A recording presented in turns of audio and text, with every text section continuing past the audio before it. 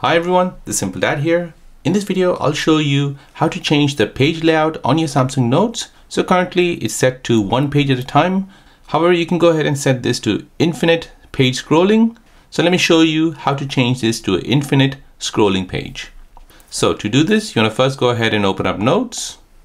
From here, go ahead and tap on the three lines at the top left, then tap on Settings. Now from here, find Default Note Style. And here, where it says Page Style, currently set to individual pages, you want to go ahead and choose infinite scrolling page. So once you do this, go back. Now when you open up a new note, you'll see that it's an infinite scrolling page. So you can basically scroll down and scroll up and you won't see any pages at all. So there you go guys, that is how to change the page layout from one page to infinite scrolling pages on your Samsung Note. If you're new on the channel and you want to find out more about your iPhone, your Android phone, or any other social media apps, then don't forget to subscribe to this channel to become a part of the Simple Dad community. Hit the like button if you find this video useful.